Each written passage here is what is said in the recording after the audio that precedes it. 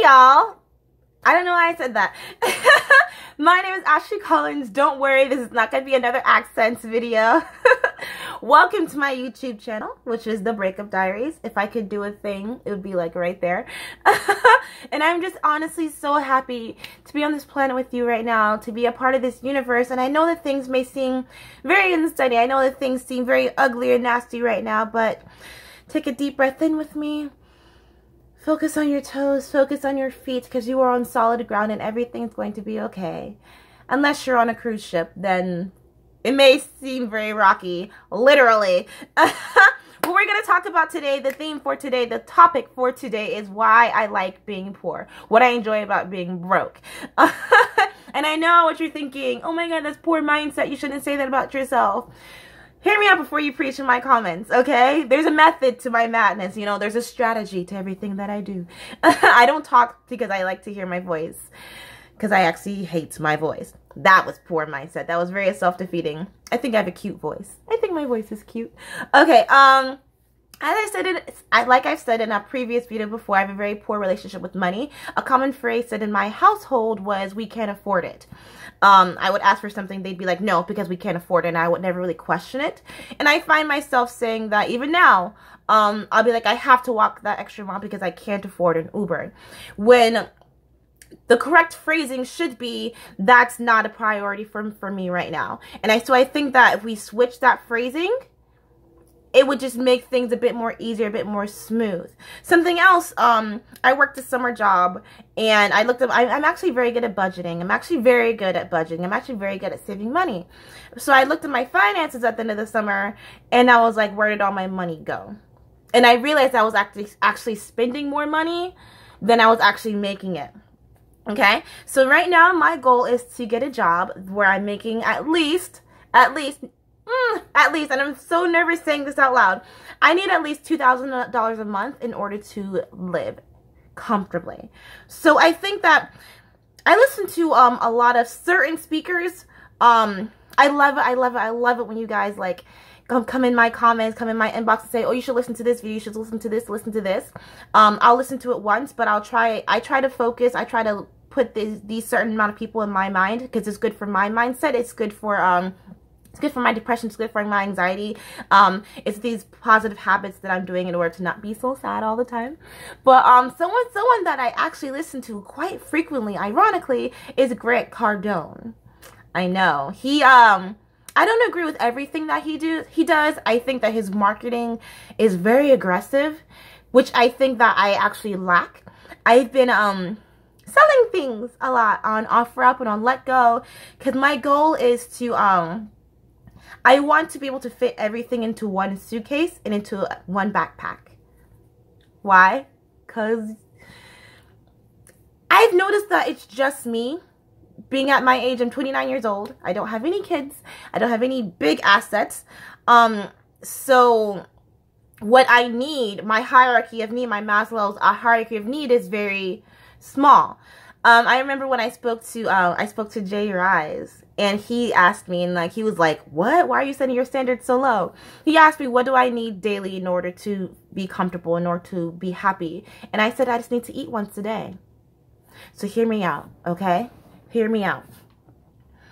There's this film called Happy Thank You More Please, and I oh my god, it's I think it's been like 10 years since I saw this film but it, oh my God, it just met, left me in this kind of blissful state. Something Grant Cardone says is, there's no such thing. I'm going to burp. I apologize. I apologize. I was so unladylike. I'm a lady. I promise. I swear. Um, something Grant Cardone says is, there's no such thing as the middle class. It is something that the rich, the politicians do as a way to make us feel like we're we're doing fine. Like, oh, you don't need to rise higher than you are because you're fine where you are. Stay where you are. I'm going to look out for you. I'm going to look out for the little guy while I get fucking richer. You see that? Like, it's, it's fucking trickery. It's all, it's all fuckery. That's, you know, that's politics. Um, what Happy Thank You More Please taught me was that happiness, success, comfort, wealth is it's not all up here. It's not all up here. It's something that is is a right for every human being. But it's also a different scale for everyone. For some people, happiness is owning three cars. That's not my idea of happiness. That doesn't mean that make it wrong at all. That doesn't make it wrong at all. You know, and I think what we do is we compare we compare what the other person has versus what we have and we're like, "Oh, I don't have that, so I guess that means I'm not happy." Why is it always raining when I'm recording? what we do is we say that person has that, but I don't have that. So I guess I'm not doing this right. I guess I'm not actually really happy because I don't have that. And that's no, like, happiness is a different scale for everybody. Also, wealth and abundance is available to everybody, but we, we stop pursuing it because we get comfortable. We stop pursuing it because we think that we can't access it. You know? And I think that nothing's in our way. Nothing's in our way. No, we, okay, I take that back. We are in our way. We are in our way. And I think that being poor, being broke, having nothing, having been homeless, having having to have slept on a couch, having to have slept on an air mattress with actually no air. I slept in a mattress with no air. So I basically slept on a fucking floor for fucking months. And God, I just think that it makes it so easy to be grateful for things.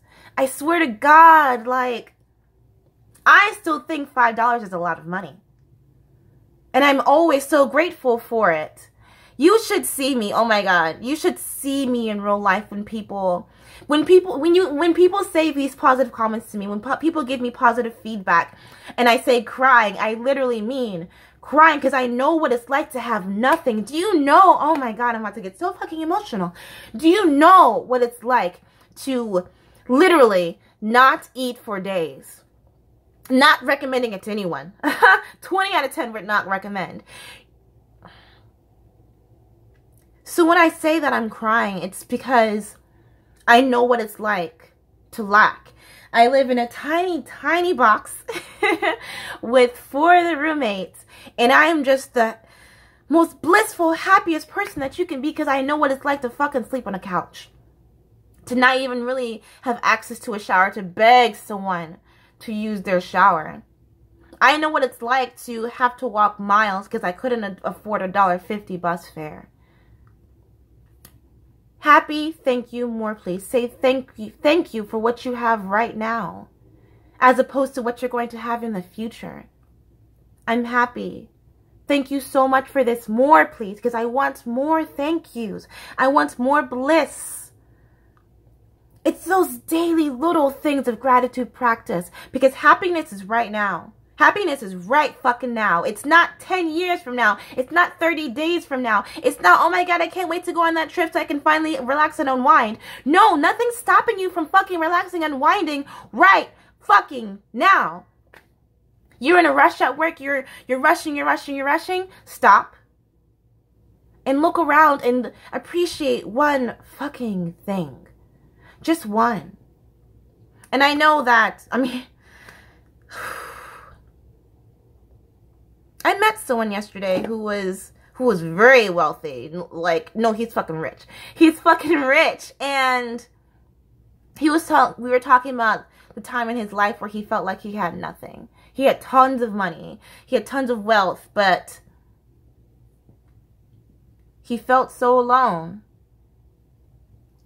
And I was look, reading um comments on a video that Gary Vee did, did recently saying that you think money is going to give you happiness, but it's really not. And people were like, easy for you to say you have money. And and I think that's why we need to get out of this stuck middle class mindset.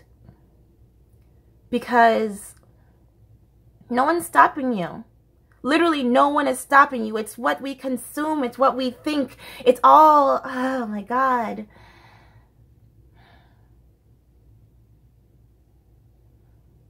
We think that there's a, a, a map. We think that there's a blueprint in order to be rich, in order to be wealthy, in order to be comfortable, but you create it yourself. No one's stopping you. gratitude and bliss are your birthright. And it's not entitlement. It's not entitlement at all. Like everyone should be fucking comfortable. Everyone should have fucking access to a room. Everyone should have fucking access to running water. Everyone should have access to fucking food daily. Those are my daily goals. And just like to have my eyebrows on fleek every day. Had to throw in a little joke on that because, you know, why take yourself so seriously? What I like about being poor is I'm just so grateful for everything. You have, oh my God, and I feel like I, I feel like people maybe think I'm being phony, but meet me in real life. I swear, like, I went to this event and my and my friend showed up. I invited him on Facebook and I was like, come show up. And I was like, oh my God, you should have. Thank you so much for being here. Thank you so, so much. And he was like, calm down. I was like, how does one not be excited about things? And I know that a lot of a lot of gurus will say um, you have to learn how to control your excitement, but how can you not? When you've been in the fucking dirt like I have, when you've been homeless, when you've been fucking carless, when you've been jobless, and you're wondering what your next meal is, how can I not treat myself to a steak because I know that it's what it's like to not eat? I'm very big on treating myself. I'm very big on it because I know how limited life is. I know that I, I could stop breathing at any moment. I could have, have a fucking aneurysm right now. Even though I think I'm pretty healthy. I think I'm pretty healthy. Glass of wine a night. Be thankful for what you have right now. Don't be too comfortable where you are. Keep striving for it. Keep pushing yourself. And and I think that I don't want people to think that like I have very low standards. Like I still have fucking high standards, bitch. Like I still have fucking high standards, you know? My hair always needs to be done, you know? but I also think that, you know, people that are like fucking broke, people that are fucking poor, people that fucking hustle, we know where to get the fucking good deals at. Like I know where all the good deals are at, you know? so fucking talk to us. Don't talk to your rich friends, you know? Because we know where all the good deals are. Practice this daily, guys. Practice being happy. Practice saying thank you. And practice saying more, please, because there is more gratitude. There is more wealth. It's all accessible. Right here, though. Right now. It's accessible right here, right now. Cool. Yay! I feel great. What about you? I'm going to go, I am very, very, I dance class tonight. I'm very, very excited about it. We are going to dance to Ape Shit. I'm obviously going to, like, do the clean version. Like, I'm not, I'm a bad influence, but, like, I, I like my job. I'm going to try to hold on to this job for a little bit. um, so look out for that on my Instagram story. Why aren't you following me on Instagram? My Instagram is the Aunt of Dragons. Yes, it's a Game of Thrones reference. Or you can follow me on Twitter, which is the Aunt of Dragon, singular, because there's a fucking limit to how many characters you can put on Twitter. Go figure. Have a great, great day, guys. Remember, bliss, gratitude, and wealth is a birthright. It's nothing to do with entitlement. Don't get stuck in that mindset. Be grateful. Be thankful for everything, for everything, for everything. Gratitude practice. It's the easiest, simplest thing that you can do, and it's a great way to fight the hard fight because